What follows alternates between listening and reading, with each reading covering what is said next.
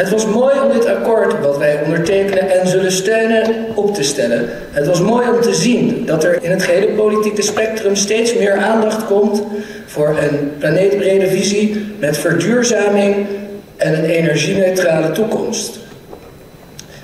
Helaas blijken er ook nog partijen te zijn, ik richt me hier specifiek op een bepaalde partij die zich nog niet helemaal uh, achter de wetenschappelijke consensus over menselijk geïnduceerde klimaatverandering heeft geschaard. Desalniettemin zijn wij trots op dit akkoord. Er zijn belangrijke punten gemaakt, vooral bij het uh, faciliteren van het energie-neutraal maken van uh, de sociale woningvoorraad door de, verhuur, door de verhuurdersheffing en de VPB-opbrengsten uit de winsten van de woningbouwcorporaties direct te investeren in het energie-neutraal maken van de woningen. Ik heb gehoord dat, er, dat de rechtse coalitie van mening is dat er een tekort is.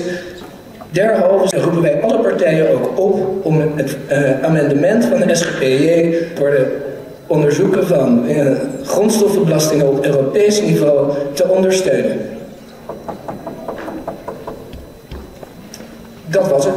Er is, er is nog wel een interruptie. Uh, ja, Josephine Verschuren van SGP Jongeren. Uh, ik ben benieuwd of uh, Pink beide akkoorden die er uh, liggen gelezen heeft. En mocht dat zo zijn, dan moet het opgevallen zijn dat die akkoorden op veel punten, en zeker de punten die Pink belangrijk vindt, redelijk overeenstemmen.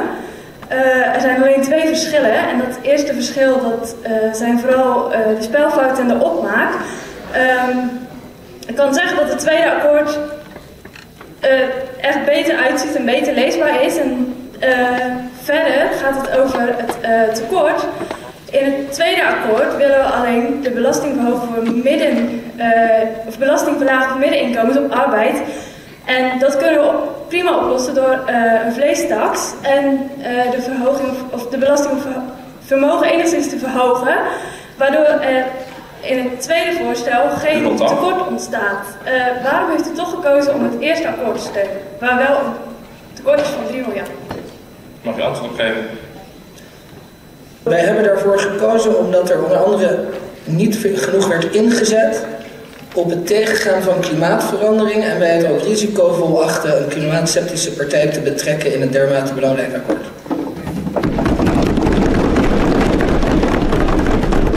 daar mag we nog heel kort op ingaan. Uh, u zou juist trots op moeten zijn dat uh, deze mensen mee willen werken aan het uh, tegengaan van klimaatverandering. En ook wij willen inzetten op klimaat of op duurzame woningen. alleen zo min mogelijk via subsidies. En er is daar een business case dat, uh, die werkt, dus we vragen ons af waarom u dat niet wilt. Waarom Pink dat Helder, dan mag je antwoord.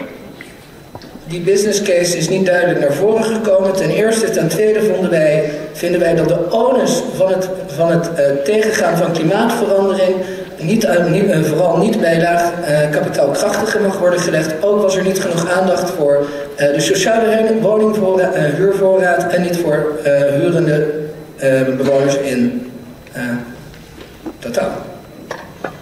Helder, heeft nog 9 seconden. Voorts ben ik van mening dat er een einde moet komen aan de bio-industrie.